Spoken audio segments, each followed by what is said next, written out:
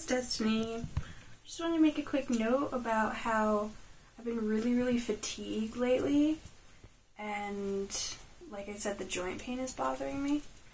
But I think it's the fatigue and the brain fog that is more difficult for me to handle than the actual physical pain. Um, I was just wondering what your guys' opinions were on that, and yeah, make a comment or message me or you know anything really. So.